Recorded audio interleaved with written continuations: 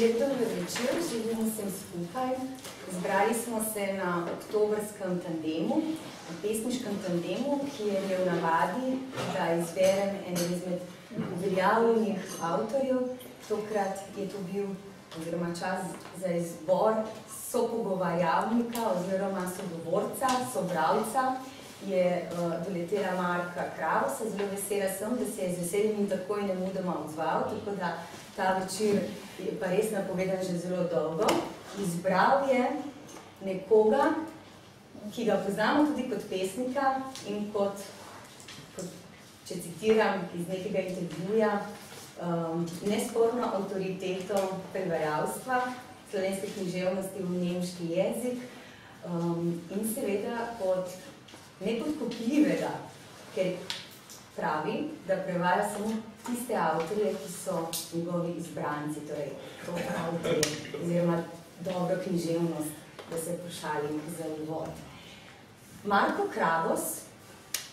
Zakaj sem jaz izbral Fabina, si vprašal? Nisem še. Veš, kaj je bilo zanimivo? Jaz tudi ne vem, zakaj si me izbral, sem pa začel razmišljati, zakaj si me. Namreč, nekoč smo gostovali v Trstu in smo v troje prispali, prispali pri tebi. Ja. Dve, takrat po mojem še gospodični in jaz, in je bilo vprašanje, kako bo se bomo razporedili. Bila ena dvojna posla in dve nojni. in kako se je končalo, da smo dva bradata gospoda pristala v dvojni posteli. Mogoče takrat, ja. Ampak eh, medtem se je izcedil en žvlačen konjak, ki mi ga je brezkrbno, ne vem, če je bil Pavčkov ali kaj, v glavnem je, smo cel, celo flaško konjaka povsem ostali eh, do, do, do, do tega. In to so bil Slavko Mihalič, Fabian Hafner in Maja Haderle. To je tisti, tista trojica gostov po hiši. Tam bile dve ženski. Sem Sta pa bili bil dve ženski. dejansko pod, pod isto To je odelo. bilo- sem bila pod isto odelo, nekaj dobi so se zbudila. Ja, ja. Tista brada ima motila tudi pol temi, ampak smo rekla, ja, to pa, ne vem. Zdaj, zdaj pa Se tako zanima. Dave, kako si. Timo Petri naj, naj spelje stvari v resne vode. Ta odgovor, tak anekdotičen, bo gotovo um, še dobil epilog kasneje, zato ker tudi o neke vrste anekdotičnosti bomo govorili kasneje. Predno se predamo poslušanju prvega sklopa branja, sem se vseeno odločila, da bi mogoče vsakemu postavila eno kratko vprašanje. Danes ne bom delala te izjeme, kot je običajno na tandemu, da se najprej posvetim uh, izbranemu avtorju, zato ker imam občutek, da sem zelo vesela, da ste Fabian izbrani, hkrati pa bi komot bili in ste na seznamu, da bi bili povabljeni za izbrati. Ampak nič hudega, tokrat pač tako. Uh, avtorji se pa pri pač gostje se ne ponavljajo in zato je seveda toliko bolj zanimivo uh, srečanje teh, ki si želijo sreč, srečanja in skupne vožnje po današnjem večeru. Marko, ogromno ste v življenju dosegli. Um, predsedovali ste PEN-u, slovenskemu PEN-u, uh, predsedovali ste slovenističnemu društvu v Trstu, predavali ste na filozofski fakulteti na slovenistiki v Trstu. Um, skoraj dve desetletji ste bili v založništvu, oziroma delovali kot celo več, je 25. 25. Um, izdali ste ogromno pesniških zbirk pred dvema letoma. Pred dvema letoma pripravili avtorski zbor za jubilejno knjigo v kamenu vodo, kjer ste naredili pravzaprav izbor vseh teh pesniških zbirk, začenši od, kako je že bila ta prva, ima, ja, prva je bila pesem, ampak potem še ta, ki je nekje zaznamovana kot 14, ker je Ja. to 14 avtorjev, nekje pa 13. Ah, ker s- sem je prišel spomin in se mi zdi, da ne ampak mislim, da je, meni da je 14. To je bilo leta Je, je, 66 in potem so si Ja. sledile. Uh, tako kot uh, Fabian Hafner, tudi vi ste se odločili veliko krat izdati pesniške zbirke tudi večjezično. Um, prijeli ste številne nagrade, nagrada Preširnovega sklada, nominirani ste bili za uh, Preširnov sklad, potem še leta 1999, 82 ste dobili za pesniško zbirko Tretje oko, potem ste dobili leta 2007 nagrado za poezijo v Italiji, v Trstu leta 2008, leta 2000 državno nagrado italijansko za poezijo, ogromno naredili. In če zdaj tako pogledate malo za nazaj in ko smo se pogovarjali, kaj se bomo pogovarjali, se bomo seveda tudi neki odgovornosti in sploh o vprašanju tistega dela, ki je, kakorkoli rečemo, čez, za ali pa blizu meje. Se vam zdi z vsem tem, um, da ste dosegli, ste uresničili to, kar ste si sproti zadali za narediti? glede na to, da ste imeli dobre veze, oziroma če rečem dobre veze, to pomeni, dobro ste poznali tudi matico. Študirali ste slovenistiko v Ljubljani, slavistiko pravzaprav in za tega del predvidevam, ste dobro ukopani in ta prostor, kakor tudi doma v Trstu in italijanskem kulturnem prostoru. Ja, občutek eh, imam še danes, da sem v nekaj uprežen. Če je to dobro ali slabo, na vsak način ima človek občutek, da je potreben, potreben v humanem, takem vsakdanjem smislu, da ga eh, nekje vsako toliko porabijo, da mu dajo nek, nek kruh iz tega, še bolj pa seveda, eh, da, da eh, v, na književniškem področju, na se pravi, ravnanju z leposlovjem, ustvarjam, tovorim svojo osov na krajinsko in po svoje tudi skušam nekaj uh, seveda, tega mojega okolja italijansko govorečega predstavljati v, v slovenski prostor in posredovati tudi seveda zdajšnjo, pa tudi klasično vedenje in spoznavanje in možnost branja v italijanski prostor, ki je seveda, jaz seveda eh, ob tem, da pišem in stojim predvsem na, eh, na poeziji, eh, seveda tudi se ukvarjam še, eh, kot ste slišali, malo zdaj v zadnjem času, bolj ali manj intenzivno tudi z prevajanjem iz italijanščine, oziroma tudi hrvaščine, srščine, skakšnega drugega slovanskega jezika. Tudi španščine. Tudi španščine, ja, seveda. In pa drugače sem tudi, recimo, pri založništvu tolaškega tiska eh, dejansko ustvaril to založbo nekaj časa, je bila ena od takih prepoznavnih uh, izdajateljskih hiš, ki so imela posebno funkcijo tudi v, v Sloveniji, kot se je Košelj je bila pod Jugoslavijo, potem so, seveda, so se interesi osrednjega slovenskega eh, kulturnika ali pa kulturnega občinstva so se pravzaprav uplahnili in ni več toliko. Ne. Tako da je tudi tista založniška eh, dejavnost eh, postala lokalna. No, jaz sem tako nekaj ostalo me. Ne, imam ogromno vprašanj. Ja, Ampak, če se hočemo najprej predati, bom zastavila kar še vprašanje Fabi. Bo pa malček drugačno in bo kar direktno o tem, kar me najbolj dela, ker ne poznam toliko. Um, pišete v slovenskem jeziku in pišete v nemškem jeziku liriko, torej poezijo.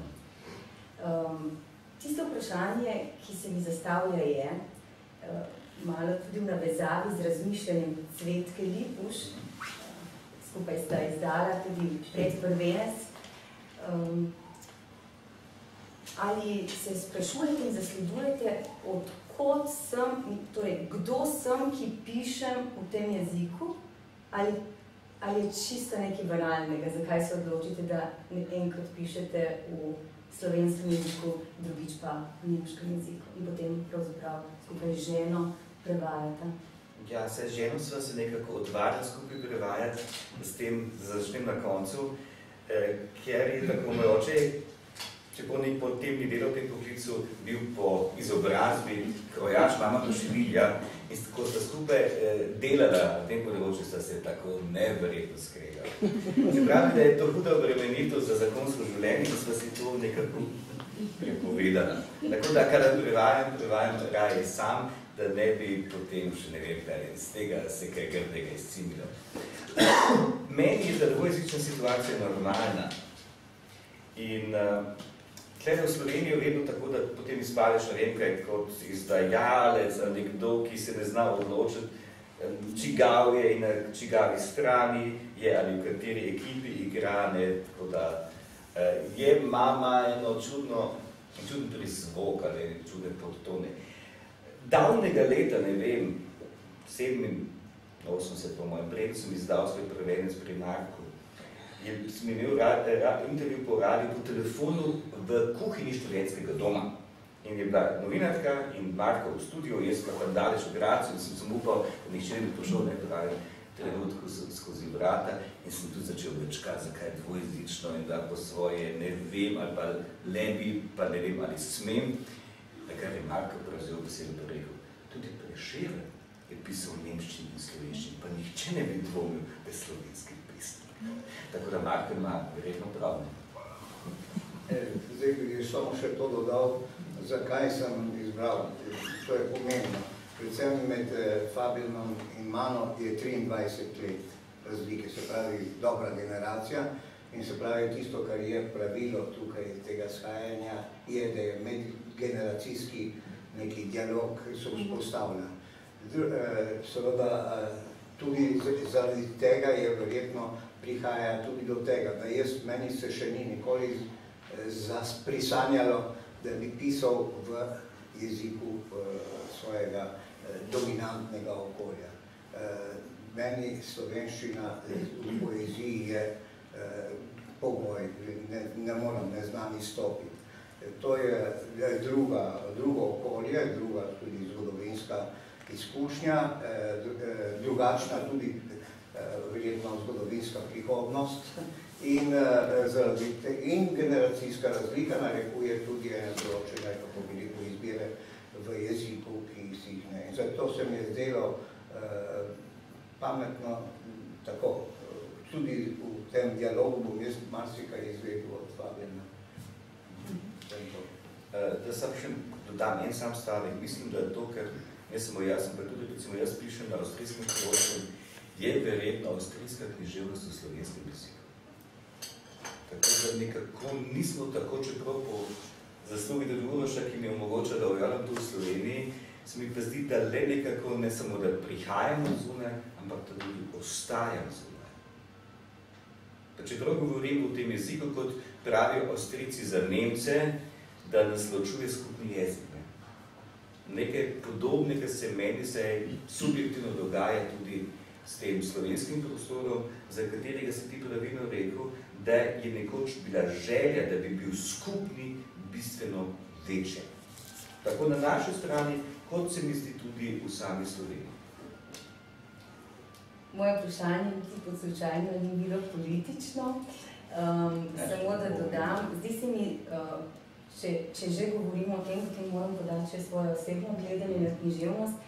Uh, mislim, da se ne smemo bati ravno tega, kar tudi veliko krat Marko poudarja, um, večglasnosti, polifonije in pravzaprav različnosti.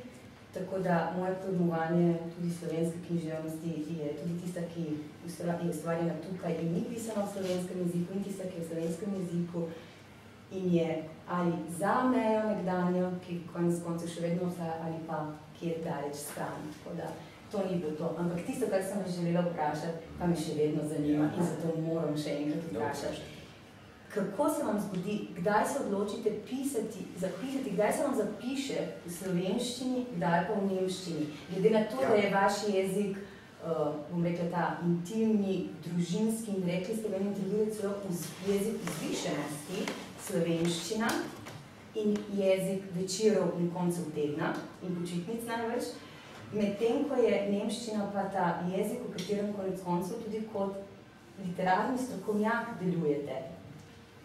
Veste, kako je jezik moj izobrazbe, formalni izobrazbe, v glavnem nemščina, čeprav sem tudi štud, eh, študiral slovenščino, ampak v Grasu, eh, tako da imam verjetno trdnejša tla, pa tudi hladnejša tla pod nogami v nemškem jeziku. Tako da so pomakljivosti in tudi prednosti nekako dokaj enakomerno porazdeljene. Moram pa reči, da dolgo svojih stvari nisem hotel prevajati sem po mojem prevedel kar 20 knjig, Uh, in sem zaradi tega tudi prosil ženo, ki tako zelo grdo gleda, ker očitam govorim neumnosti, uh, da bi ona prevedla, ker se mi je zdelo nekako neokusno, da prevajam sebe, kot da je to nekaj, ne vem, ne prepovedanega, ampak ne primernega. In sem bil predvsem, ko sem se potem kar lotil, presenečen nad tem, da ni bistvene razlike, da svojih besedil ne razumem bolje ali slabš kot besedil drugih avtorjev. Mm -hmm. Tako da prevajalski problemi so enaki. Uh, moram pa reči, da sem se kar, ker se mi zdi potem, da je lepo, da imaš to v obeh jezikih, tako da nekako implicitno kar pišem dvojezično, že skrito mislijo in željo, ali pa niti ne tako skrito, da bi se to postavilo kar v dva jezika. Tako da Ker je tudi vedno potem vprašanje, v katerem jeziku sanjam, ne, ali v katerem jeziku se pogovarjam sam s sabo, bojim se, da v nobeni, takrat nimo jezika. Enega drugega, ne? Ja, po mojem, ne v tistem jeziku, ki se ga da izgovorda zapisati. Mogoče je pravi trenutek, ker mi se ponovali tukaj v tem ciklusu zelo zaklepetamo in pozarimo na branje pesmi. Zato je kar pravi trenutek, Najprej bom prosila Marka za prvi cikl branja, potem tako vas, potem se bomo pogovorili. Ja. Jaz sem uh, izbral tudi malo hote, ker sem vedel, da bo to vprašanje jezika v ospredju pač pri najbolj. Uh, nekaj takih zbor iz uh, moje zadnje zbirke, ki je išla, v drugi rundi bom pa take neobjavljene bral. Uh, sem izbral take, za katere mislim, da je pač slovenščina naravni element in da je brez slovenščine, recimo, pač marsikaj neumno. In uh, seveda sem potem sodeloval zelo kruto in uh, naporno je bilo predstavljati to, ker je zbirka Sovna jezik, išla je 2014. Uh, je dvojezična, so mi v Trstu to izdali in so mi zdelo prav, da je to meščane. Ampak seveda sem potem moral vsak, vsak tekst na novo, kako bi rekel, uh, osmisliti tudi v jeziku soseda, se pravi, je bilo na novo napisano. Ne? So nekaj vse zato, da, da, da učinkuje kot eh, živ organizem. Ampak tudi vam bom prebral da samo v slovenščini in tako. Eh, prva je tista seveda iz tega mojega tudi geo, geo, z temi geografskimi oznakami. Iglavci, listavci, v ozadju morje in Kosove. Ja, zamerite, jaz moram ostati, če nam je ta trebušna prepona nagaja veje vrši v krošnjah, gre in se vrača med veje, po spočetnem vzdihu brezbožne bore za razmaje, zajame poganske hraste, veter. Mrazi gladino, v mraku spodjeda breg. Zviška z neba se utrinjajo listi, sočutni šumevci, bor v bregu bos na begu pred lastnimi iglami. Sivi kamni so sivi kamni. Se morje kdaj reši soli, bor ima iglice v krvi.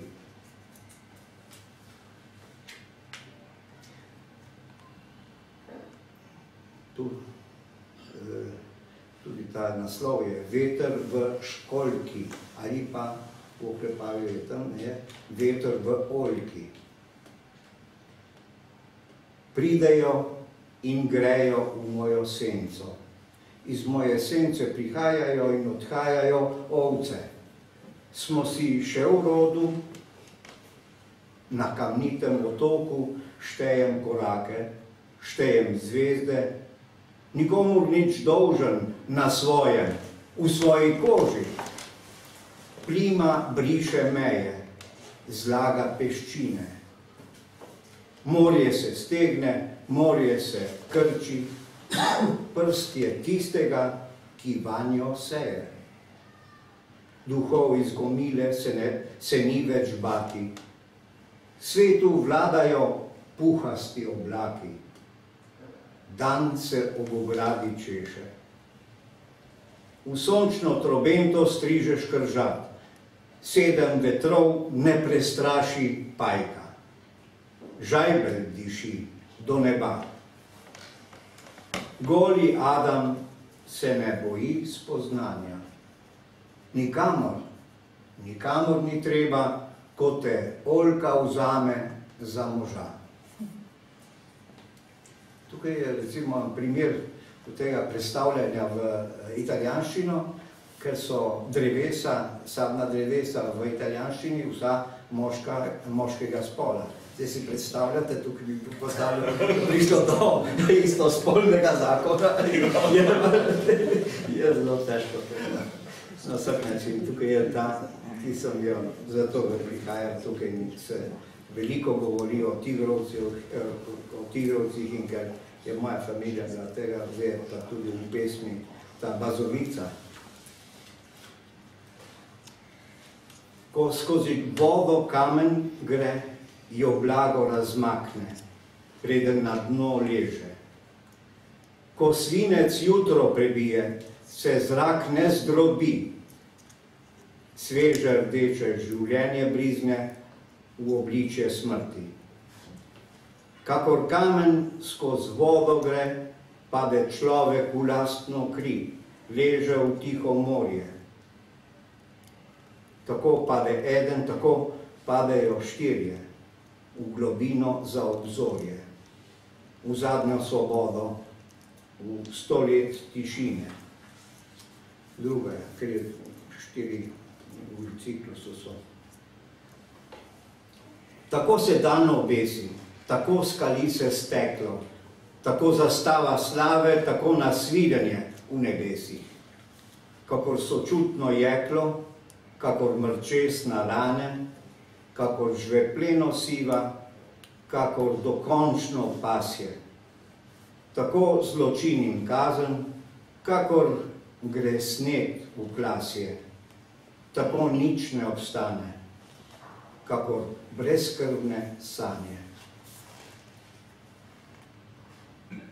Preko gmajne tiha steza, na proslavi pa zaori grom beseda gospoda ministra, dim brez ognja,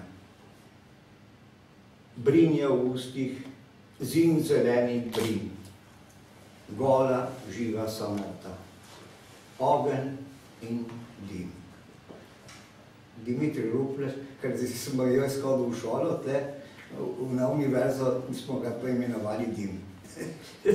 in minister, ki je tam nastopil, tako da ima tudi vse take konotacije, ki se jih človek potem spomni, da zdaj pregiram.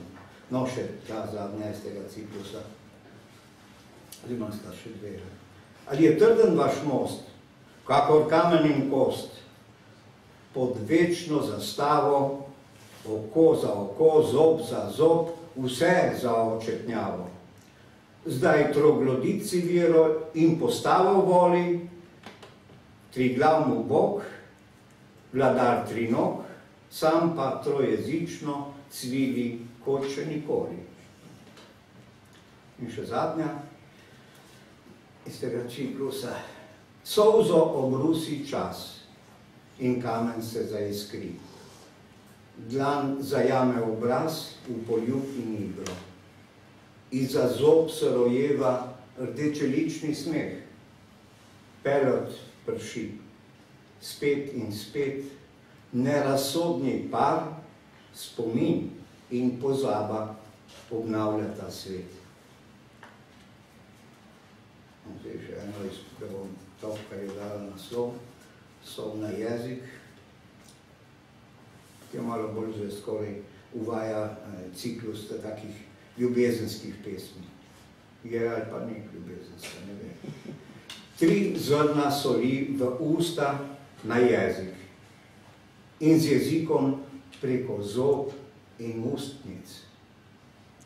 Sol še bližnji smrti podeli okus po ljubezni.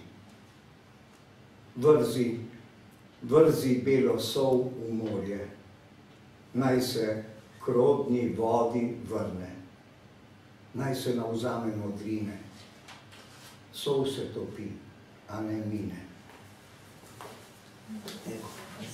Zdaj se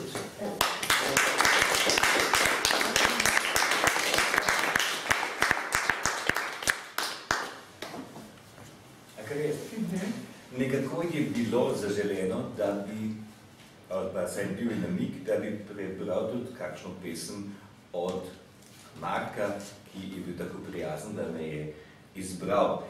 Uh, gledal sem to prelepo zadnjo zbirko, pa se mi je zdelo, da boš ti gotovo kaj svojega izbral iz tega in se je to res zgodilo. Uh, in sem rekel, bom pa šel čisto ziharaško nazaj na tisto zbirko, ki je bila takrat najnovejša, ko so se spoznala. Vidi se pa, da so v tvojem svetu neke stanice, kot je recimo škržat. Uh, moram reči, jaz živim v svetu, ki je dokaj zaplankan. Pred nosom imamo razlike in živim pod stolom, tudi to me vse me povezuje s preširnom. Ta čudna dvojezičnost, to, da sem sta 49 let, in da živim pod stolom. Se pravi, ne pri teh glavnih premicah, ampak pri stranskih razsežnostih sem popolnoma, sem res usporednik gospoda Preširna. No, zdaj pa Markova pesem. Ustrajno. Čisto srečen sem. Celo uživam morda. Morda mi je dobro tako, tako mi je prav lepo, morda me le to veseli, odlično, krasno, prečudovito, morda je pa prijetno. Radio na mizi crči, čisto srečen sem. V njem lastoka gnezdi, celo uživa morda, skozi okno piha z hriba, morda mi je dobro tako, na balkonu vleče z morja, tako mi je prav lepo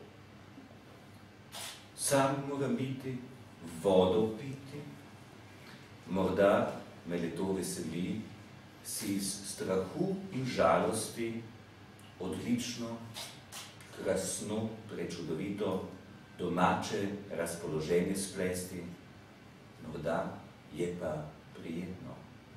Radio na mizi cvrči, v njem lastok gnezdi, skozi okno piha z hriba, na balkonu vleče z morja, sam moram biti, vodo piti, si iz strahu in žalosti domače razpoloženje splesti. Tu je zame zajeto vse to, kar im cenim in imam rad na Markovi Kravosu, uh, mediteranska širina in slovenska neozdravljiva otožnost, ki se pa nekako srečata, zlivata in ustvarita nekaj tretjega, ki se mu reče Marko Kravos. Uh, jaz sem dolgo razmišljal, kaj bi prebral. Uh, sicer sem to šlo tudi objavil prej v Sloveniji, sem uh, izvolil revij in sem našel, tu je pa potem dvojezična varianta. Rekli ste, da se ukvarjam tudi kot literarni zgodovinar z izdajanjem že poprvih avtorjev in sem sodelavec z obradnih del kroške pesnice Kristine Lavand, ki se je z izrazito religioznim uh, besednjakom in imaginarjem v glavnem izrekala o, kako se temu ljudno reče, izven zakonski zvezi. Sem pa rekel, dobro, o tem je že toliko napisano, tudi recimo iz slovenske literature, poznamo balade o bratu in sestri, prekaj tam Boviču, kar je religioznost in spolnost, ampak to je ali pred aktom, med aktom, ali pa mogoče še uh, postkoitalna žalost, Da bi se pa iz tega tudi, kar napisalo, kaj se potem zgodi, se pravi, eh, družinsko življenje in pa to še vedno iz tega religioznega lica, tega pa ne poznam, pa ne, mogoče to obstaja, pa povejte mi kje, pa boste to slišali. Skratka, to so pesmi, ki so nastali tudi v okviru enega festivala, ki ga so, svim so oblikovati, ki je vedno na predvečer eh, velikega šmarna, tega praznika sredi avgusta in ker Marijin praznik. In to se vse vrti okoli Marije in njenega sprofaniranega življenja.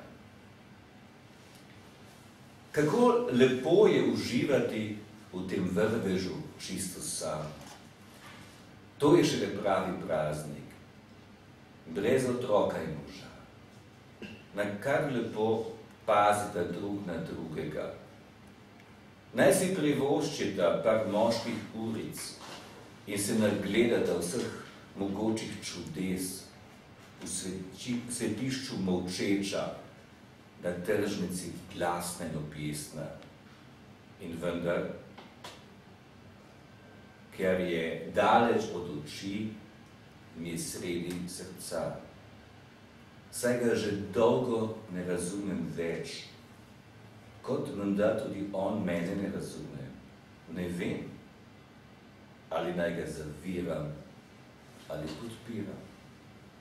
Načrt ki sva ga tako skrbno skovala, se je sproti razblinil. Poslala bi ga najraje v puščavo, kot v naprejšnjo pokoro za še nestorjene grehe, kot da bi si s tem lahko podaljšali bivanje v verjetno samo na videzni oazi, ki že oddaleč sumljivo spominja na Fatamorgano. V njegovem očesu se zrcali naš pogled. Kako ne postaneš gospodo, gospodar? Naslednja. Otrok je zapustil hišo, kot kaže dokončno. Zdaj hodi po vodi, kadar je ne spreminjal vino. Postal je ustanovitelj novih posvetitev sredi zvestega spremstva, da le ne bi bil kolovodja, da bi se končno spametoval, ali to ne bi bilo samo človeško. Bil je tako mil otrok, tako krotak, prezrel za svoje nežna leta to že, vendar vedno naravnost svetniško potrpežljiv na mesto svoje družine, zdaj raje hrani ljudske množice. Na mesto pred svojim pragom pometa po vsej deželi. Potem se pa optike spremeni. Jožefa, vestnega rednika, hvaležno pomnijo predvsem zaradi vsega, kar je opustil zaradi njegove neomajnosti se mu vse preveč radi posmehujejo. Zamaknil strmenje najde zatočišče v trajnem čudenju. Pokorno v danu Božjo voljo, brez besed, opravlja princ soprog bodoče nebeške kraljice, pokorno svoje dožnosti sam v delavnici, z ložljivim metrom v žepko v bedru in tesarskim svinčnikom za ušesom. Njegov posvojenec ne bo njegov dedič. Umre zgodaj, neopaženo. Njegova smrt ni uredna posebne mile. Zato ne v zakulisju v stranskem rokavu, te zgodbe se pravzaprav ne splača pripovedovati.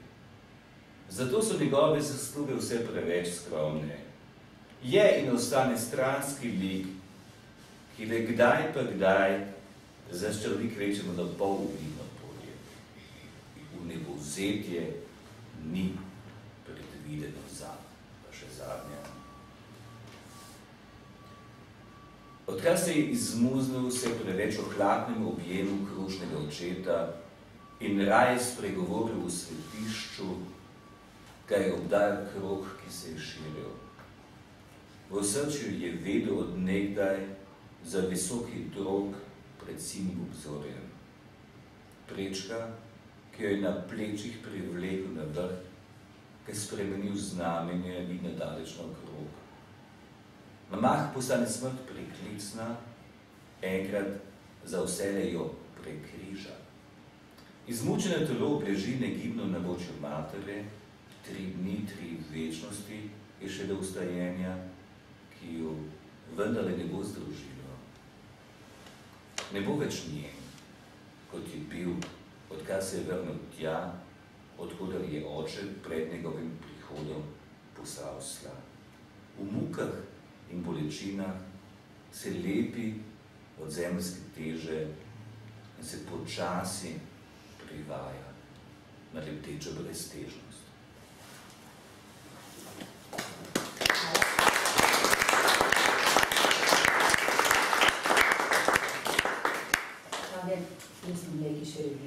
Ja, ja, sem, ne, ne, sem tudi jaz. A, v redu, samo da veste, da tle drugače sem prinesla vaše objave. Zelo prijazno. Imam po mojem, kar bo. uvek za dogajanje.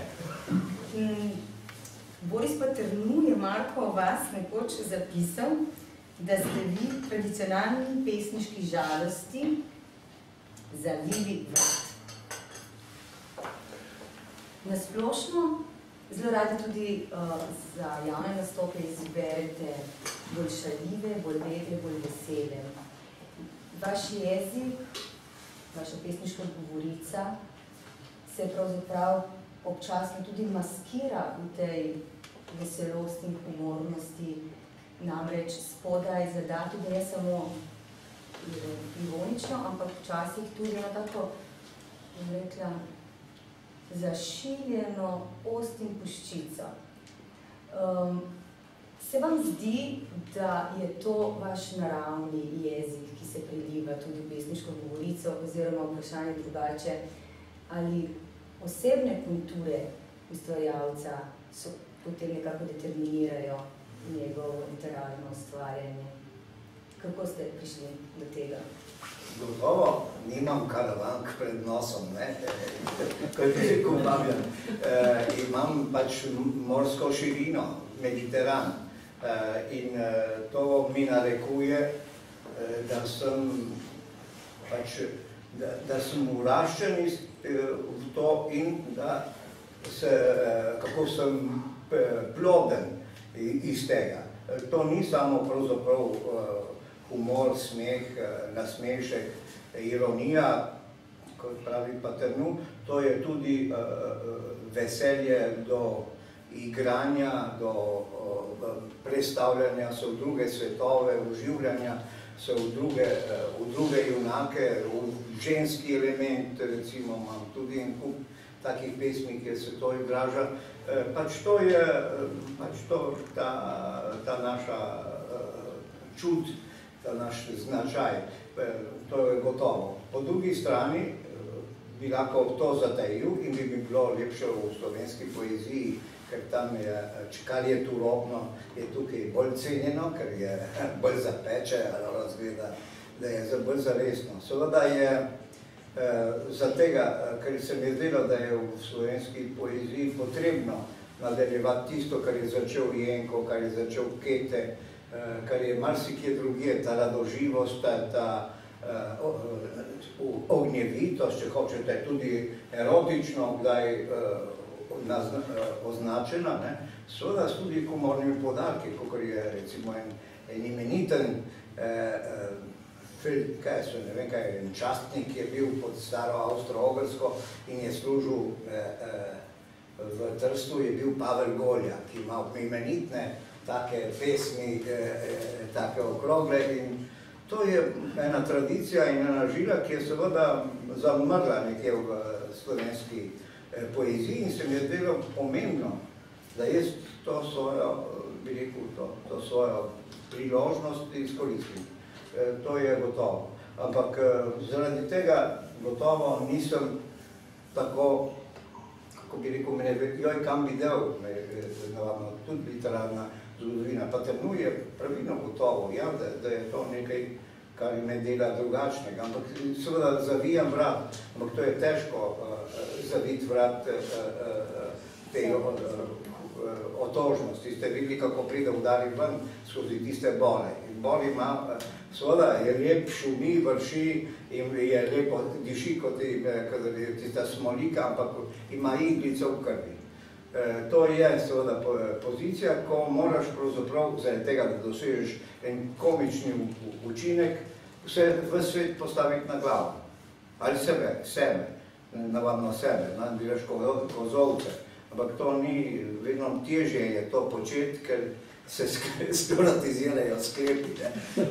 Ampak še vedno seveda to pri tem ustrajam in to bo, kar bom drugič imel priložnost, da bom bral, bom bral tisto, kar je zdaj. In je tudi v tem, seveda, in to je zelo tvegano na slovenskem, prihajati na smejan, ker, ker je ta, kako bi rekel, privošljivo slovenska, ti reče, ti bo že zamrl sveh, čakaj, čakaj. To so mi tudi dobesedno rekli, ko so mi ukinili založbo, ki se je zgradil 25 let, potem so rekli, ne rabimo več, ne, ne bo naprej, se rekel, je tako, ne, ni treba, ki moramo, to moramo opraviti, to nas preveč ovira. In, so mi, in, ker so, tudi za tega, ker sem Bogu nasmejan okrog. Nevarno. Pa se vam zdi, Marko, da vas je Ugajka, slovenski pesniški kolega, torej tu v Ljubljani, za, za voljo tega malo čudno gleda, torej, da je vašo poezijo vendarle bral uh, skozi zgolj in samo to prizmo, šaljivosti, veselosti, namreč veliko trpkega je tudi v ozadju. Recimo iz uvodna in zaključna pesem v ciklu, ki ste ga izbrali za ta izbor in se naslavlja javne pesmi, gre za nek, nek družbeno-kritični angažma, je meni en zelo všeč vers, ki ga želim prebrati. Nočem biti v eni dimenziji sploščen od luči.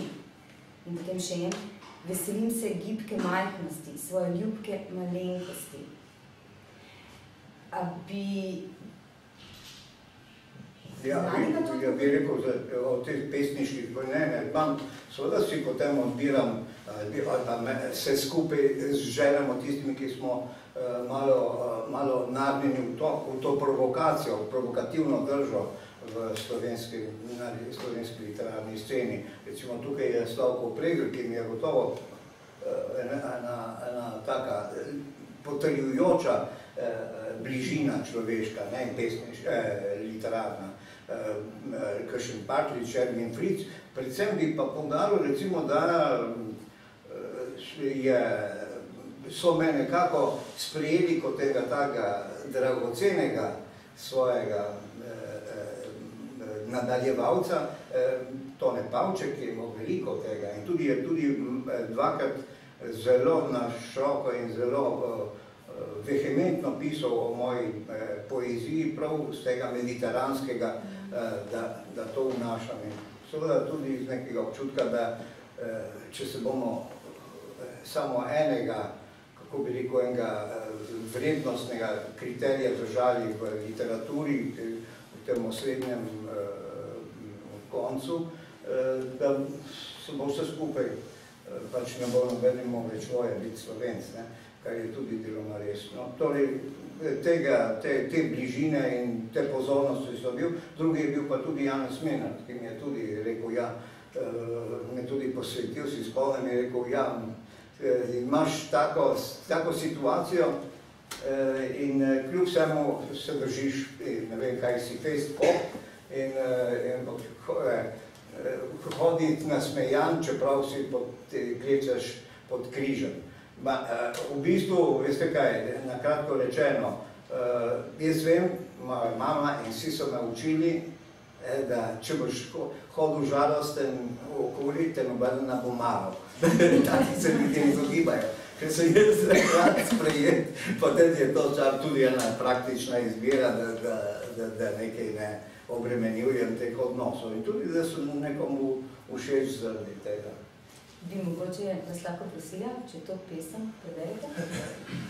Zdi se mi, da pa... Ja, sem videl, da si spustila tisto o spolu, ne? Ne, vse zato bo to ne, ne, to je ena taki, seveda, ker ima naslov Dionizova, je jasno, da obravnava prav to in je seveda programska, programska pesem tudi tako napisana, ampak konec koncev, prav zaradi svoje neznatnosti se odpovedujem razumni vdanosti. Na tesnem sem zudi in čuti bi radi poskakovali. Na dvoje ušes, na par očes, na obe nogi lovim blagostanje. Vdihujem med sinimi sanjami, v izdihovanju šelesti vse nekdanje. Ne bom več služil videzu in dobroti. Dnevi so mlačni, izzvest so le vinske noči. Nočem biti v eni dimenziji, sploščen od luči. V meni so vsi trije spoli, moški, ženski in otroški. Čas se vrsti, rasti sočirja se od ljubezni.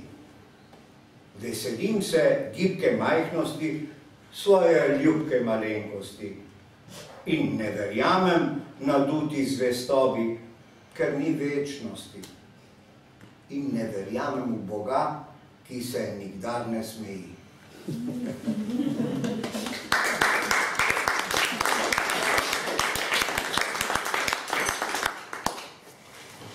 Fabian, ogromno nagrad, že leta 90, nagrado za prevajanje, nagrada Petrarka, potem najviše priznanje ob prevodu, predvidevam, da je ta avstrijska državna nagrada bila ravno takrat za prevod Šalamunove poezije. Ne. Ne? Ne. Šalamun je bil v Münstru, ne, ne, tako je bilo še predno mojem, je se tista knjiga zares pojavila, ne, to je bilo nekako mimo Šalamuna. Ja. No, potem pa 2014 pa Društvo slovenskih književnih prevajalcev vam podeli Karolina Borodlomo.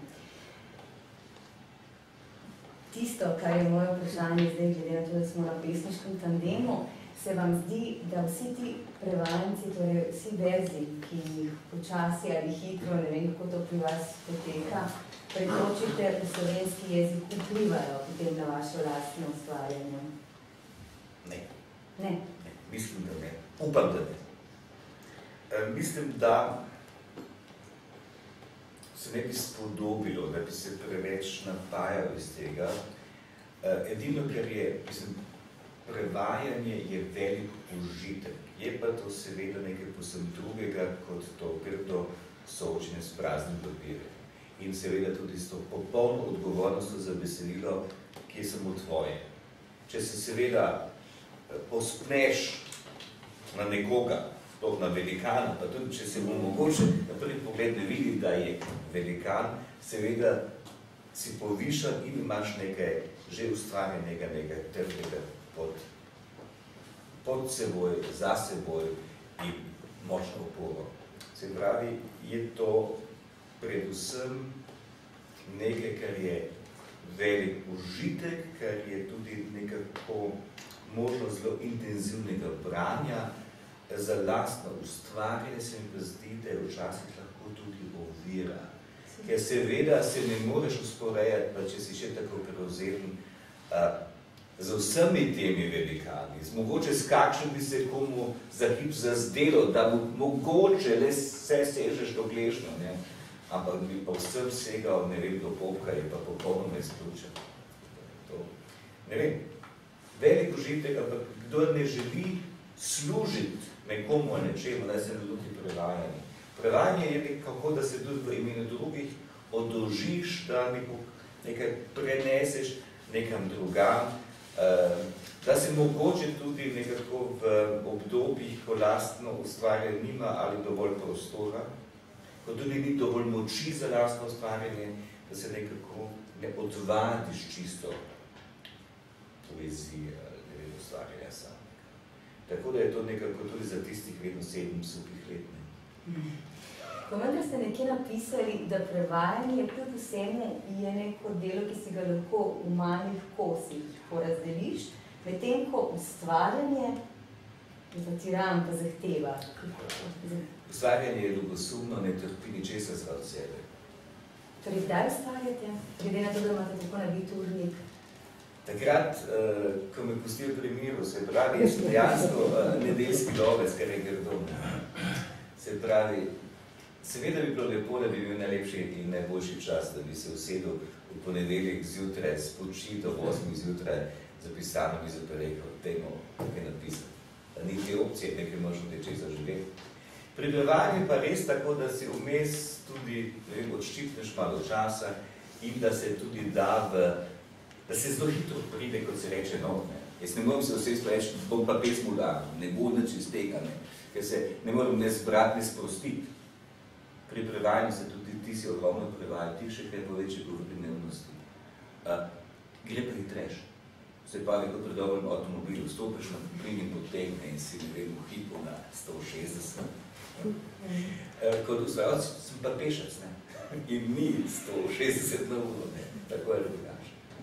Ja. Torej, ja, prevajalci kot ambasadori, kot odpiralci okna v svet. Ja, jaz eh, v vsakem bi moral človek vsem tudi v, v izvirnem v pisanju, v svoji pisavi zasledovati tistega, kar potem tudi vidiš, da je in bolj zbrano, te ne zanaša ne, ne čustvo, ne razum, ne spekulacija, ne tradicija, eh, kar je potrebno.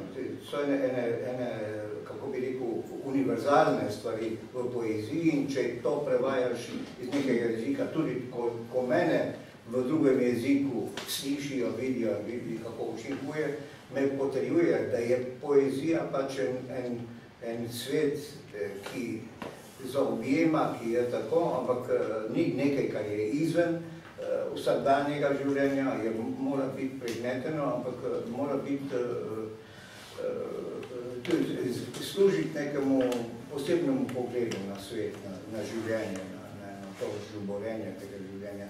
Se pravi, da tudi v jezikovnih klegah potem moraš iskati frazeologijo ali kakorkoli, da bo potem recimo iz italijanske Eh, književnosti stvar zaživela popolnoma naravno, da bo shodila in potem. Meni je grozno, kadar sem grozno nesrečen, ko vedno bolj pogosto dobim eh, v slovenščini eh, prevode, ki so popolnoma ne, ne, ne, nedostojni.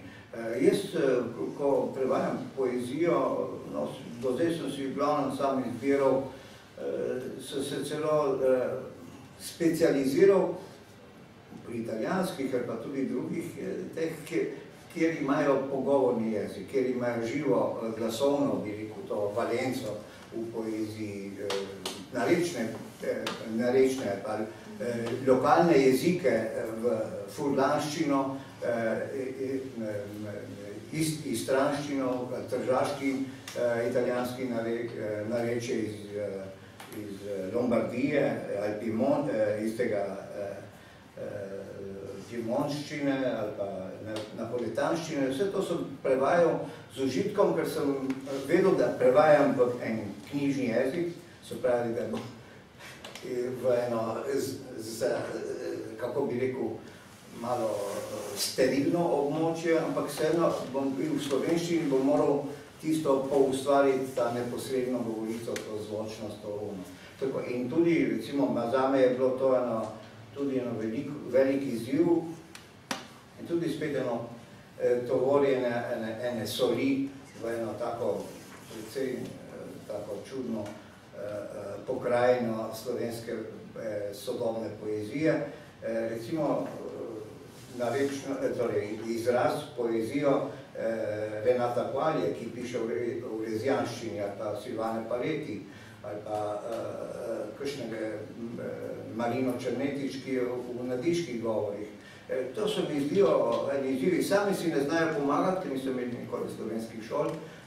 Jaz to volim nekaj gor, ampak je seveda ena, ena poezija frapantno eh, aktualna, aktualna, ker je prav, se napaja prav iz korenin, iz, iz tiste travce zelene in je seveda ena perspektiva za poezijo, pa tudi verjetno za drugače ravnanje in eh, pozicioniranje neke literature in človeka v, v svetu. Zato, da bomo imeli potem kaj grist in kaj pit, ki bo bolj naravno. Ne, jaz sem se razgovoril. Ampak ne vem, jaz bom videl, bom skušal prebrati, ker je zdaj se mi zdi, da bi moral eh, Fabijanove pesmi prebrati, ne? ker si si meni, no? Bom jaz šteč, Ti si glavni, jaz, sem samo... Oba sta glavna. Eh, tudi za tega, ker, eh, ker je tudi tukaj to, to štiriročno pisanje, ja, on je, on je celo izdal zbirko, ki je brezročno. Ja, že, ja. Torej, zbirko celo, zdaj tukaj, tukaj pa stvar, ki nastaja štiriročno, to misliti, in tudi predvsem na intimnega enota. Zdaj, kaj ćemo ostati?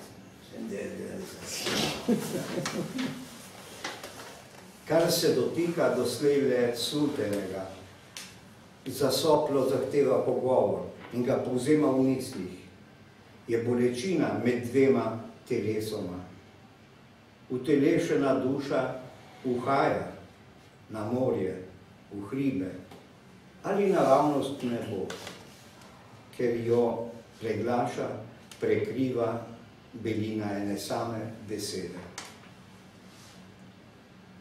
Kar skrivaš, kadar hliniš z gostobesednimi gibi, pogledi, med tem, ko izbiram med jezikom in ušesom. Ali knjižiš račune, dokler so še čisti ob ukinitvi telesne meje. Te ne zamika, da bi vr navrgal besedo v sihajoči, nemi dvogovor.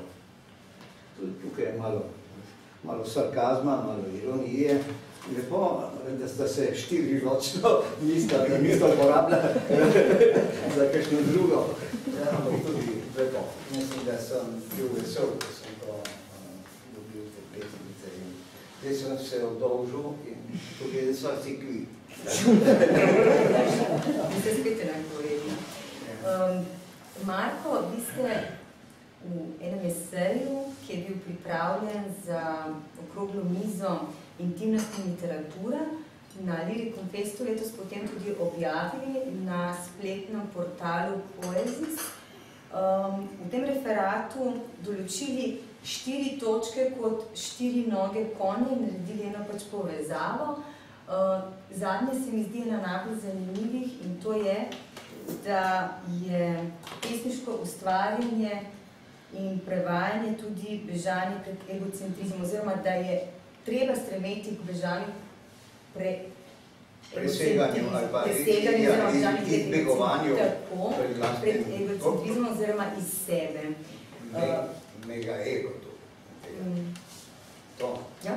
Nekaj bi hotela zdaj s to nogo, da gremo. Ja.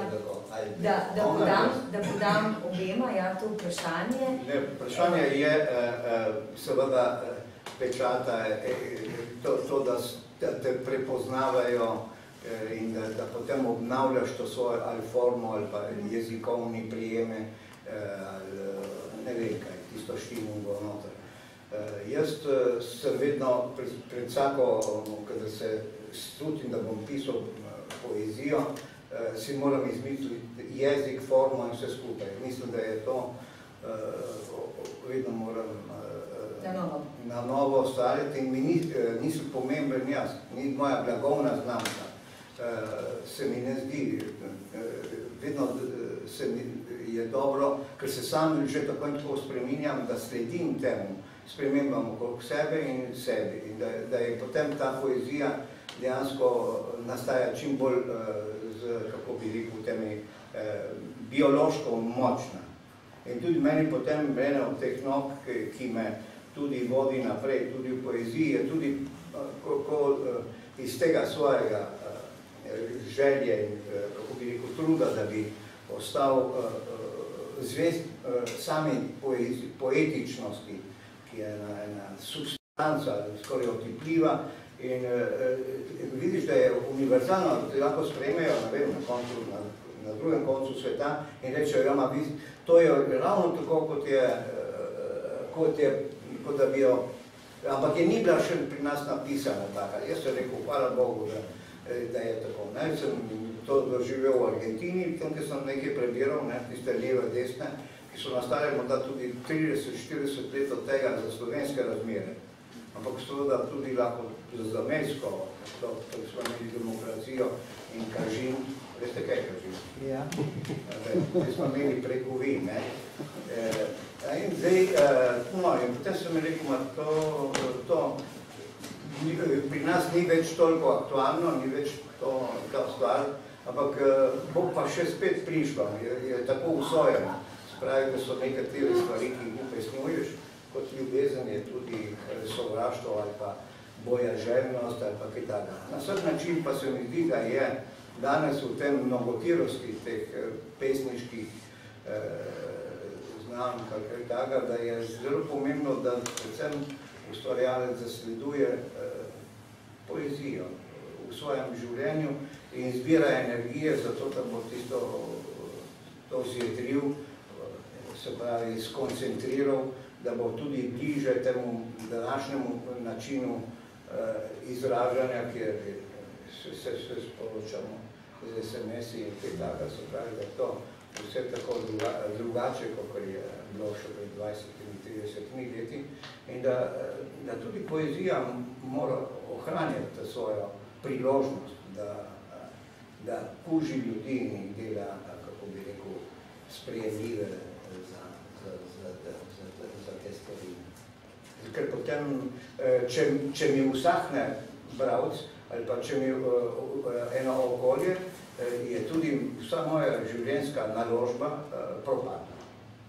Jaz si tega skoraj, jaz zaradi tega pišem, če ne bi rekel, lahko se, ono se se mo nekaj nagradi, so samo tisto o nagradah, Bobi si pri Fabianu, dobil jih je na, na avstrijskem, ne mi ga na tle, na, v tem eh, getu eh, eh, krajnskem. Eh, tudi jaz, jaz od 82 ga nimaš več nagrad, ker ni, eh, nisi več, kako bi rekel, eh, tudi mi ni za to, tudi njemu ni več. Ampak predvsem je zelo pomembno, to mi je, da je moja poezija potrebna, da, da, da vidim, da pade noter eh, no, in, in, in da sem jo jaz sposoben uh, se iztreči in jo, uh, jo rojeva. Ja. Uh, moram reči, to bo zdaj tako izpadlo, kot da sem res njegov sin ali vse posvojenec. Tako zelo se strinjam, da bi težko temu kaj dodal. Uh, je pa res tako, da je Slovenija za nas, za mejce, postala nekako prostor, ki ga težje dosegamo in težje ustrajamo. In tudi če nekako, ne vem, skušamo prodreti z besedo, ne kot fizična oseba, v Slovenijo,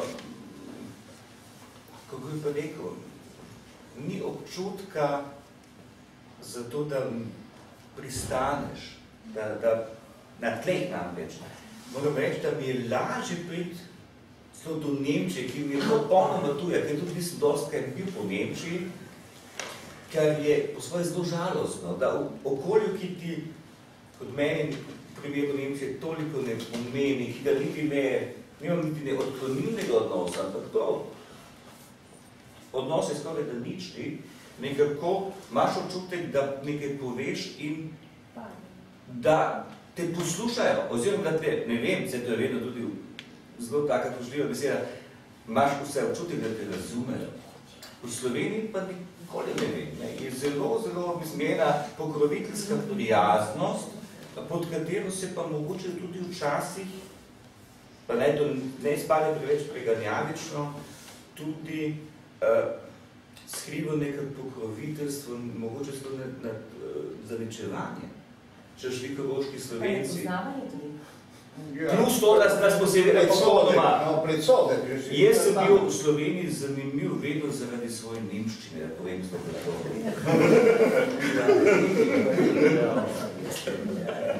Ne zaradi tega, da, da recimo, da mogoče čist praktično, če je treba kakšno pogodbo prebrati jo podpisati, da razumem tudi slovensko ne škodi, ne. Ampak to je v glavnem to, ne. Ampak sem bil res zaradi tega, ker ste vi govorili o besedi ambasador. Mislim, to je zelo velika beseda. To je kot da pes govori, oziroma neko govori, uh, Boga za psa, je to pač njen pes, ne. tu, tu je neko grobo nesorazmerje. Ne, je bi bilo le seveda lepo biti tle, ko hodiš po Ljubljani, ki je odprtaš, nekako se mi zdi, da se nekaj dogaja, da je ena energija, ne. Ampak nekako imam občutek, da so ti tokovi, da mi niso dostopni, vse mogoče ga tudi jaz lomim, ne. Niso mogoče krivi tokovi, ne. Fabi, ja, ja, ja. Ja, tukaj, Ja. se, se mi postavljajo tle. Ampak ne bo, ne bo reči nekaj Vse sebe. je, vse je vprašanje vam, prosim, če lahko. Um, nekoč ste dejali, da poezija je zgoščena podoba sveta, da z njeno pomočjo se stopnjuje tudi doživljanje stvarnosti. Potem ste napisali en verski metodi, oziroma par verzov. Vse moje podobe so ponarejene. Na koncu bo še kdo trdil, da sem govoril o prapodobi vseh, le ne o sebi. Čemu pisanje? Zakaj pišete?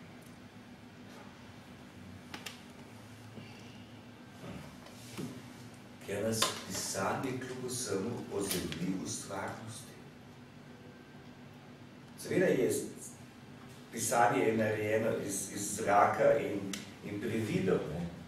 ampak kljub vsemu se, nas, se mi pa zdi, da nas poveže z realnim svetom, oziroma je tudi neka potrebna protiotež. Se pravi, tako povezava, kot tudi tisto, kar mogoče poskrbi za to, da to stvarnost, da smo ji kos, da jo prenašamo. Tisto, kar je Marko tudi čez pripravino razumno namitno, ne to, ker daj človeku potem smisel in moč in željo, da bi živel naprej. To. To je zelo patetično, ampak je tako, ne? To je nekaj zelo temeljnega, vse za In zdaj vse je nekaj, kar izpade zelo banalno vprašanje, pa niti ni, vsaj po mojem mnenju. Uh, gre za to, da prej sem poprašala, kje je možnost um, zaviranja, ker ste še prevajalec. Kaj pa literarni znanstvenik? Koliko je intelektualizma tudi v vaši poeziji, po vaši presoji? To je, to je vprašanje. Sprašujem vas o poeziji Upam. Fabijana Kafnerja, ne o vaši. Ja, ja, upam, da ne preveč. Bojim se, da je pa kar preko radodarno odmerek. Ne moreš čisto izklopiti uma, uh, niti takrat, ko pač, ko si domišljaš, da si ves pri sebi in v besedilu, namesto da ždi nad tabo in malim možicem, ki to motri iz razdalje in ti sugerira, to si pa že kje prebral, to s tem pa hočeš to doseči, to igraš na efekt, vsi, vsi ti prisluhi, ki prihajajo. Seveda je te, treba te glasove nekako utišati in še včasih pa le se mi zdi, da si posreči, da so verzi zelo jasni in preprosti.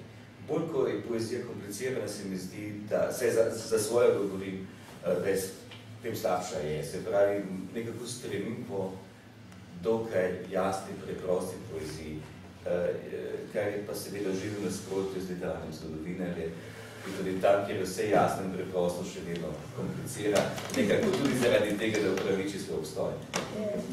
Občutek imam, da uh, zasledujete um, ene take male, drobne rekla, enote, ki so lahko ali doživljaj ali spoznanje, um, kati, za, za katere uh, pesnik potrebujete pa ogromno neke čuječnosti um, in duhovne zbranosti. Se morda motim ali berem? Ne, mislim, da ste lepo povedali, verjetno lepš, kot bi lahko povedal sam. ja. So te drobne stvari, ne mislim, če bi imel to široko epsko sapo, ne? da bi dejansko razpredal, ne vem, da bi imel projekt 5000 strani. Ne. Zdaj ne vem, če to v Sloveniji obstaja, ali uh, Karl Ove Knovska, ki je napisal knjigo z lepim naslovom Min Kamp, moja, moj boj. Ne vem, zdaj je zide prevod prevladinske knjige. Vseh šestih knjig? Ne, vseh še, nisem, da samo to prve. Ja, on Knovsgod, on je ja, ja. Ker je, zdaj pet knjig je že v teh šestih, ja, ja. ker v Nemčiji seveda ne mora biti Mein Kampf, ki je naslov že oddane. Ja, ja. Nima nič s tem, je popolna eh, v bistvu provokacija, ampak človek je napisal tistih, ne vem, 3500 strani v, ne vem, dveh letih pol, ki se je popolnoma odkril razdal, ima to širino. Jaz sem popolnoma fasciniran, ampak ni mi pa to dano. Jaz bi moral, ne vem, poleta napisati in bi bilo vsega skupaj mogoče 10 ali 15 strani. Pa ne zaradi tega, uh, ker tako skrbno delam, ampak ker mi je težko uh, dati iz rok stvari, za katere se mi zdi, uh, da za druge niso pomembne. Ne? Kaj bi vas nadlegoval s tem, da mi srbi nos in da, vam, da mi boli zob? Ne? Briga vas, ne? Gospod Knauska pa vsem tem piše, ne? dvakrat prvne in je za 15 strani, ne? Ampak je pa po svojem klubu samo fascinantno, ampak njegovi prvci so fascinantni, moji niso. No? Ampak literaturo imata pa oba zelo rada, ne? Na prve listu. To ja.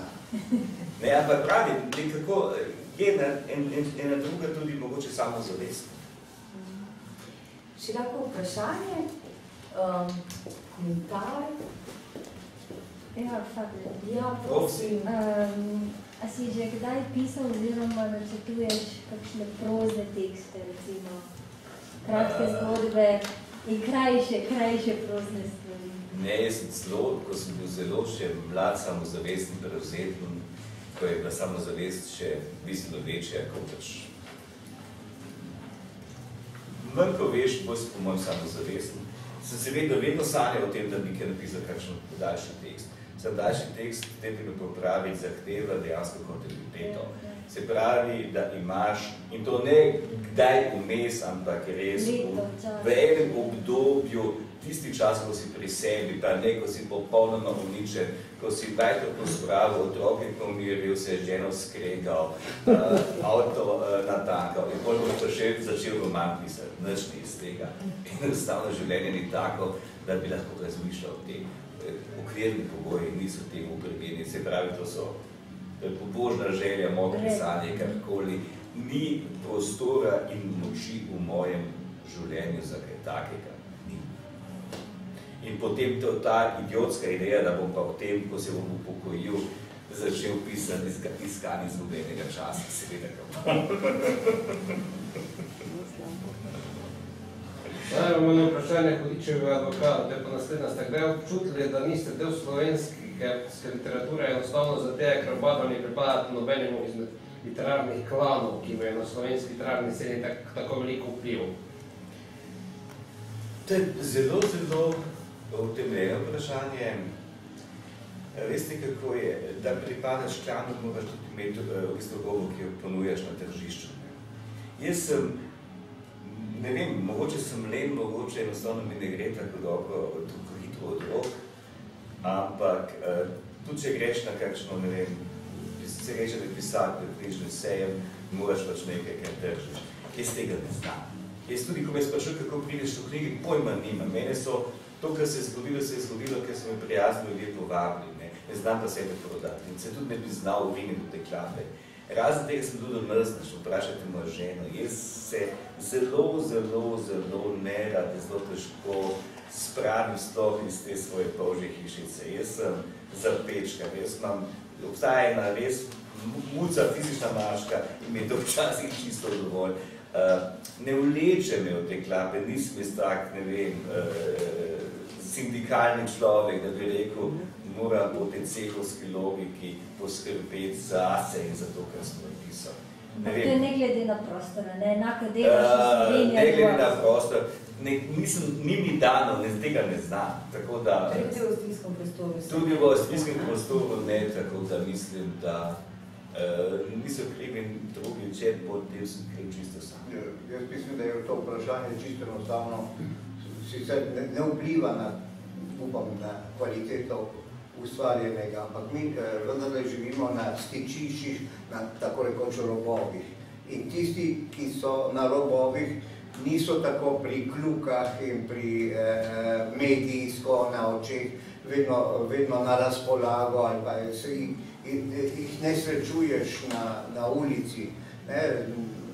Tukaj je, je to, ne glede na to, da uh, vsak od naju, recimo ne dveh, tudi za druge gotovo velja, uh, da res uh, govorimo že malo iz drugačne situacije, iz drugačnega zornega kota in z drugačnim jezikom.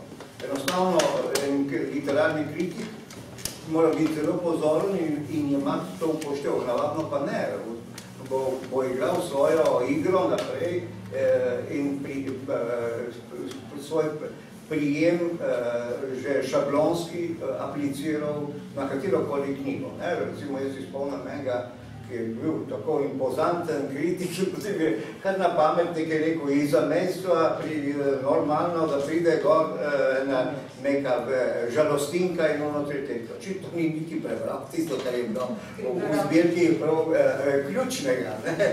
da je ravno nasprotno. Ampak to je seveda tudi eh, pač, pogoljuje tudi eno določeno prezenco in uspešnost ali pa težo celo v, v, seveda, na, na tej sceni slovenske poezije. Ampak, kaj jaz vem, recimo, da to, to obropje to kompenzira s tem, da se uveljaviš pa, se ti čudijo, kako si dober, zaradi tega, ker imaš en, en, en zven slovanski, recimo, rečejo italijani, ne, je, slavo, e, to, to je malo drugače, ne, in, in se jim zdi, ali ne vem kaj, jih spominja na Čehova, na, na ne vem kaj, ono tretje. In meni ni nič napačnega. Jaz tega svojega eh, slovanskega ne bom zametoval, tako kot recimo so v Sloveniji, v Sloveniji to pač dogaja. Mi smo pač del tega, vseeno tega morja in je lepo vam biti in plavati v televizijah, ker smo, predvsem zato, ker smo manjšinci. Se mi zdi, da tudi na avstrijskem Koroškem je tudi ta, kako bi rekel, slovanofilstvo, produktivno, verjetno. Jaz sem številčnost, ki sem še vzeti o teh, stvarih tudi govoril, ko si ti to načel, ne. Število govorcev slovenščine v avstrijskem Koroškem hudo upada in tudi slovenščina čisto tako po količini, tudi po kakovosti, tako hitro nazaduje. In uh, vidim, ko imam recimo nastope pri nas, takrat čakajo tudi, če je to mrda slovenska preveditev na, na nemške prevode, da potem res razumejo to, kar uh, piše in govori. Tako da je dejansko uh, možnost komuniciranja v slovenskem jeziku, če se ne opiraš na popolnoma ustaljene, zelo tradicionalne vzorce, pušnice in rožice in kozice in gore in ne vem kaj, ne tisto, kar je 19. stoletje, pa še kmečki svet, potem se že znamo pogovarjati o čem recimo poje ljudske pesmi. Ampak v sodobnem svetu povedati, kaj o slovenščini, upati na to, da te razumejo na avstrijskem prvoškem, je pa nekaj zelo optimistično. Sam vedne duše pa vse širijo meje jezika in življenja. Ja, seveda. Ja, seveda, ampak to je pa... sam knjiga ima, ima nakladno 300 izvodov, ja. tega bo ostalo... Janja Oswald, Oswalda poznate? Ja. Ne, ampak on ima pa svojo glasbeno in drugo, s temi interferencami je ravno tako, kako bi rekel, ena, ena živ, živ odraz sedanje jezikovne situacije, dosti bolj pač tudi produktiven zaradi tega v tem eh, kološkem okolju, kaj se je po mojem? Ja, ne, recimo tako rekoč, on se je sprijaznil s to situacijo in iz tega iz te naše umestnosti naredil nekaj produktivnega. Floreno pa bojim, da se zelo bojim, da bo 250 izvodov te knjige ostalo, jih bo ostalo v Sloveniji in on na zaresnih pravcev, ki so to knjigo pa res neobsežno prevali od začetka do konca, ne vem, če jih je 50, res, po mojem je to zelo optimistično. Že pri Vitkušu, ko se je pojavil, takrat, ko ga je začel Handke prevajati, onega leta 81, sem vprašal takrat študentko slovenistike v celovcu, kdo je pa da Lipuška Handke prevaja. In je gospodična, bom tretji letnik slovenščine rekla, a to ni Lipuš muzila prevedel. Nihče ni vedel, niti od tistih, ki študirajo slovenščino v celovcu, kdo je ta hodičev Lipuš. Lipuš na avstrijskem Koroškem nima bravcev, nima bravcev in to zaradi tega, ker njegove lipuščine ne razumejo. Tle v Sloveniji se ljudem zdi, da je to koroščina. O, to ni res. To je jezik, ki na koroškem še manj razumljiv kot v Sloveniji. To je jezik, ki ga pogovorja. Kaj nima slovačkov na koncu besedil? Veste kako, jaz sem dve knjigi prevedel in sem do takrat, ko, nismo, uh, ko ni bilo treba prevajati, tudi mislil, da si lipuš besede izmišljuje, pa ni res. Jaz sem dejansko dveh besed nisem našel v celem besedilu, ko sem predajal svoj domovisi. On je človek, ki dela kot v bistvu, kot jezikoslovc. Uh, samo če bi prišel v to, da bo knjiga potem, ne vem, kot je to pri filozofih, tri vrstice besedila in ostalo so pa opombe, mislim, potem tudi nič umetnost. Potem je kar laže, berite to v kakšnem prevodu, potem bi moral tudi obstajati prevod v slovenščino, kot obstajajo prevodi v druge jezike. Ampak dejansko čisto komunikacijsko, lipuš na Koroškem ne funkcionira več zaradi jezikovnih okoliščin že od 80 let naprej. Jaz se spominjam, ko sem jaz prvega Lipuša preveril in oče ga pozna, ker sta ista generacija, in sem rekel, a ta dom pa preveril, je foto odpre knjigo, jalo odpegnem prevere, prvo stran pa reče, to ni slovenščina. Ni njihovo. To ni, manj, še manj naša, kot je vaša, če tako reče. In dejansko, brez slovarja, pa res ne knjigi prevedel, mu jezikovno tudi jaz ne pridem čisto do živega, kaj še do dna. Tako da on že širi, ampak širi, uh, kako pa rekel, na eni zelo, na zelo odmaknenem, na odmakneni ravni. On lebdi, ne vem, že kar tam, kjer ni več kisika, to že kar nismo stratosfere. Žal? Na samo doživljajsko elementu in je tudi jezikovno zanimiva, se jaz tudi razumem. Ne, ne, on je velik, velik avtor, ne me ne bobe razumeti, se sem spremno besedo napisal. Vem, vem, se uh, Tako da ga zelo čudujem, da on lahko govori vedoč, da govori, ne vem, ducatu ljudi. Kaj to pomeni? Potem upa, da se bo to prevedlo, ne. To je, kot da, ne vem, živim na otoku in vem, moji otočani bo čez dveh generacij bo izumrli in šel sem pišem v njihovem jeziku, to je kot to je Renato Kvalje, ne, v Dezijanštini, ne. Zelo primerljiva situacija. Sam pisati pesmi v takem umirajočem jeziku nekaj drugega, kot le pisati bolj ali manj pripovedno prozo. Ne.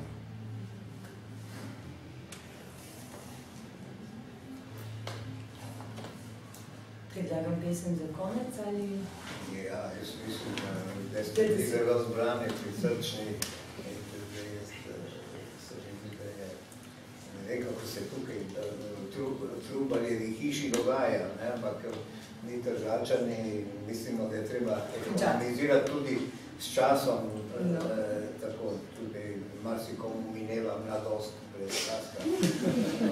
Zdaj vam bom nekaj bolj okroglik, ampak tudi zelo uh, sem odbral iz te nove zbirke kot suho zlato, manjkrat bo zdaj išla na slovenska in čakajo zbirke, da je poprično 3-4 leta na jezik, no, ampak ta bo obljubljeno je, ampak bo lahko schira tudi založba, in jaz ne bom učakal, ampak zato boste pa zdaj vi imeli priložnost slišati. In tu je to ena prvih tudi branj, nisem nastopil s temi poezijami, Eh, s pesmicami, ki so vse po uh, tri kitice, dvovrstičnice, se pravi šest verzov in tukaj nekih pet, šest takih pesmic boste prenesli. E, in tukaj obravnavajo tudi te probleme jezika, tak, ampak seveda na ljudski način, kot je po Markovo, ki Marko tudi. Sonce, kar gre čez naše predmestje, ne znaše pozdraviti po naše. Luna v štirih jezikih molči. Slavec nam poje in je deležen slave. Slavka pa nič. Tudi pri ptičih so za samice enake možnosti slabe. Dalo bi se z jezičnostjo vse prav urediti. Res? A kje začeti? Pri glavi, pod popkom ali kje vmes. V travi požvižgava kos in ko je sneg, ko ni več trave, pohoditi po nos, nespodobno črn in bos. Na nebu si je tudi mali voz. Kdor gre, bi bil rad drugje, ki je daleč, ki je bliže. Kdor ostane, živi po metulje, če, če bo svet še kdaj cvetovče polje. Kdor odide, je še zmerom sam. Kdor na novo pride, vse mu je tuje. Zdaj tukaj malo nekakšen, malo bolj javne pesmi, ampak mislim, pesnik mora odražati tudi današnji trenutek, zdaj boste videli svetovno politiko tukaj. Kdo bo tebe, ruska zemlja, ljubil, če te jaz ne bom? Saj še Rusi obležijo najrajši, kar na sosedovi. Jaz bi tudi. Kdo bo tebe, rodopolje, ljubil? Ah, in tebe, rodni, dober grob. Zdaj imamo še prvo svetovno vojno. Ne.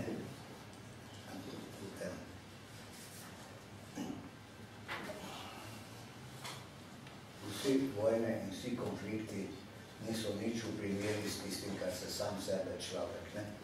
Ampak drugače se da pa tudi se zgodi tudi vojska na slovenskem.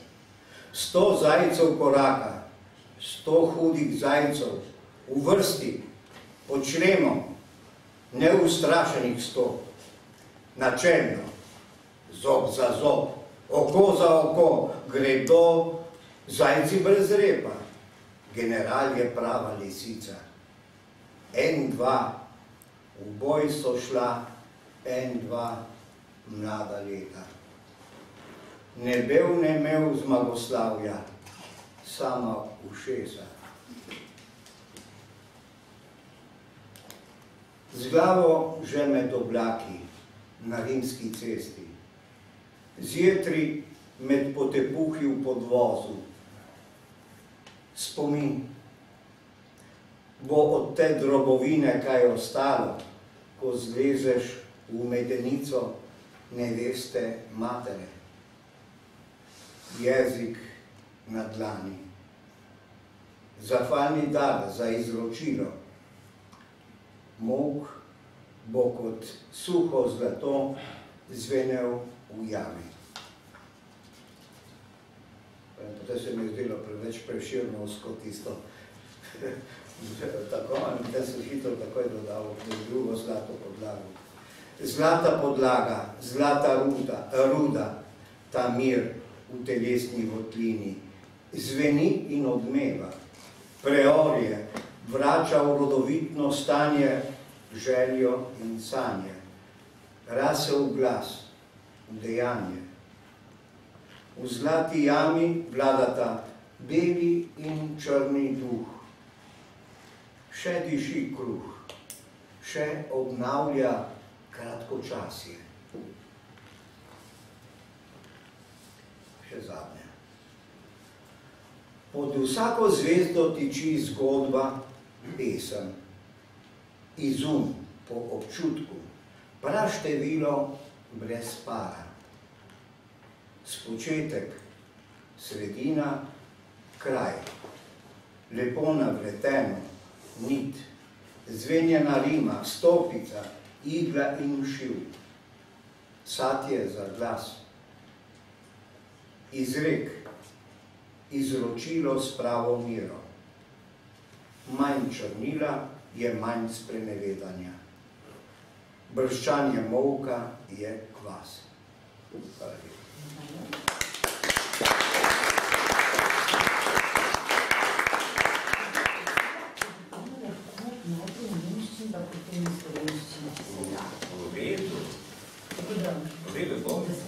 No, jaz sem imel itak uh, namen prebrati eno krajšo, pa eno daljšo, bom pa to krajšo prebral tudi v nemščini.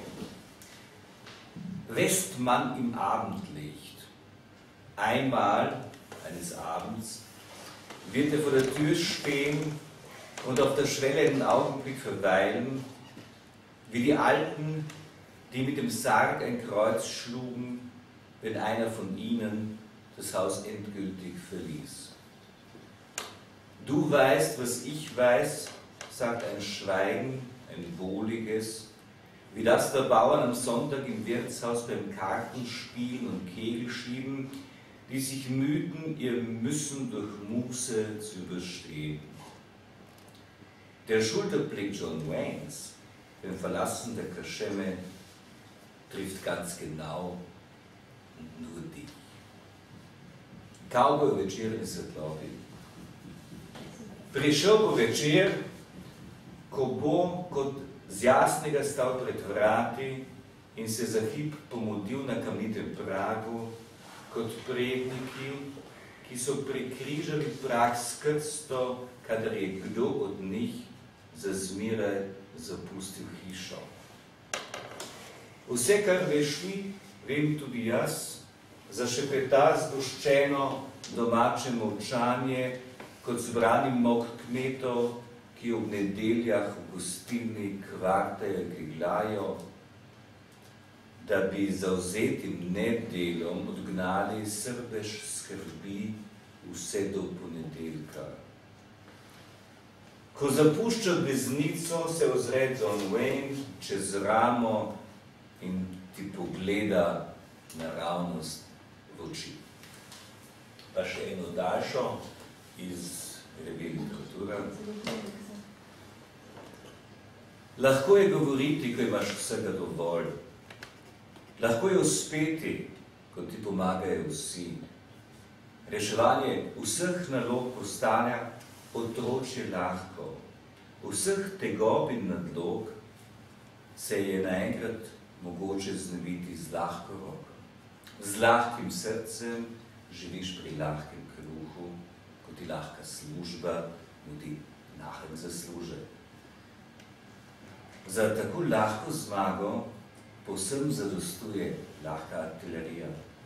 Mirno si lahko dovoliš in privoščiš lahek strup, naprimer cigarete in lahko vino ob lahki večeri, ki ne bremenijo niti prebave, niti spanja. Lahke postanejo kretnje, lahka hoja, lahki kamen, ki ga nosiš seboj že celo življenje, lahko spraviš v lahek kavček. Z lahkim jezikom lahko napolniš knjigo, ob lahki glasbi ti uspe prvič, da si resnično lahek pri plesu. Vse, kar se lahko zgodi, se dogaja zlahka. Lahko gremo čez travnik, lahko nas obiščete, kadar hočete. Lahko vstopite, lahko prisedete, se lahko malo maknete, prosim. Ali mi lahko daste kozarec vode. Ko boste opravili, lahko greste. Ko boste odšli, se boste počutili lahki. Tudi ljudje se vam bodo zdeli lahki. Srca bodo lahka in vesela, lahko vam bo celo pri duši. Tako lahki boste, da bi kar zleteli. Ampak pazite, lahka ženska je lahek plen. Bodite vendar pozorni. Ni napačen človek, le preveč lahek je. Lahko je reči, lahek porok. Lahko je misliti, lahko življenje. Si predstavljate lahko smrt?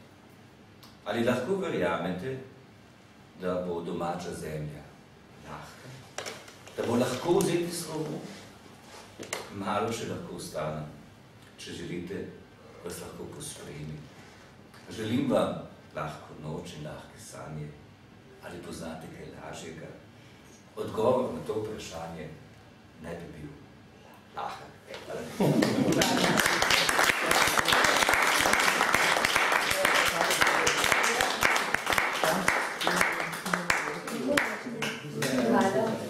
Hvala. Jaz bi potem nekaj pristavil še eno, eno stvar, torej se pravi, da ste prišli sem.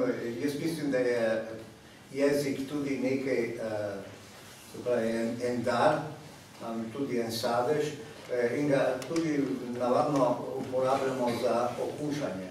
In jaz vam prinašam zdaj ene iz svojega vrta, prišlo ene sadeže, da boste imeli tudi od tega um, od tega večera tudi en tak otipljiv eh, spomin. Ampak samo eh, bi rad eh, tudi, ker pa tudi jezikovno vas uvedel to, kaj je, kaj poznate ta sadež? Ja, granatno. Granatno jabolko. Ne.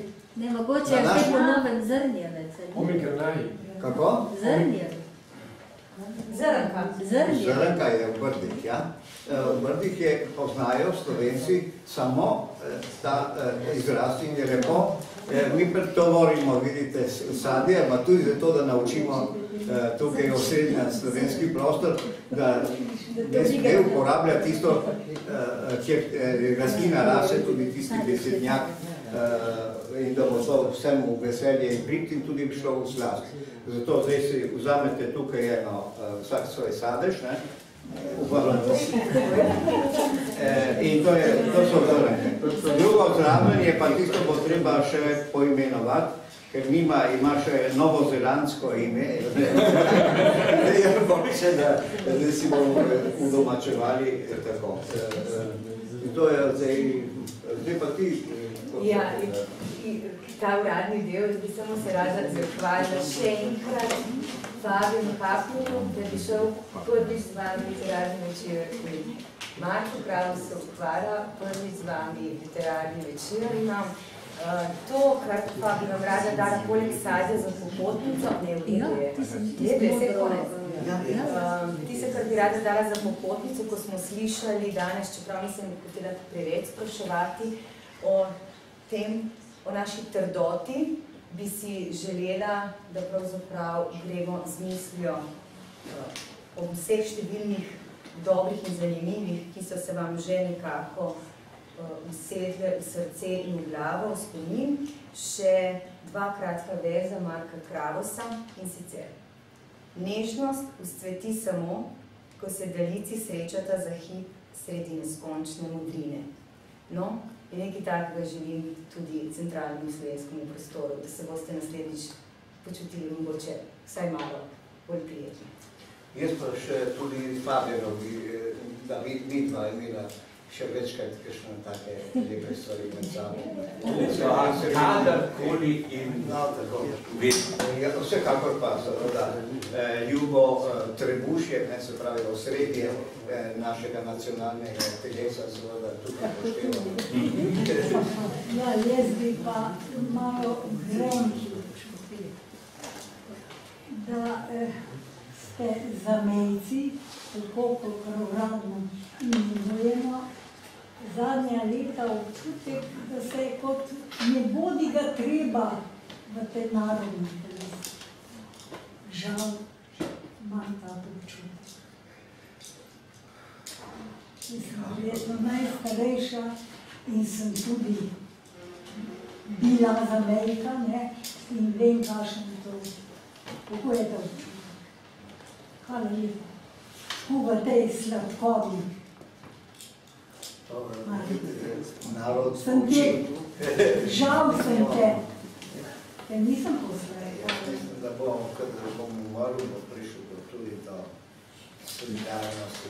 Mi ljudje Marko zna narediti najboljšo kavo. Zdaj pa še to. Ja, da. Ja, da to, da, jaz si to močno kuham, zato da me drži gor. Če ne, tako bi se. Saša Pavček je moja soseda. In, sina. Srčna, srčna. Tako, hvala lepa. Še enkrat tudi ti, ne rečeš hvala. Hvala. Hvala.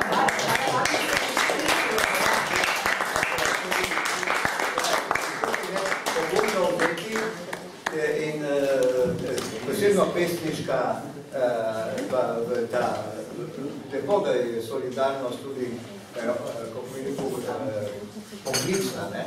To je, ta čut, eh, morda tudi, ki lahko spet ponovno uvedli. Se je vedno bolj, eh, eh, gla- eh, ta svet je brez, brez duše, in ja, in naddušen, in je prav, da se potem videvamo tudi tako, da se, eh, občutek. Ne?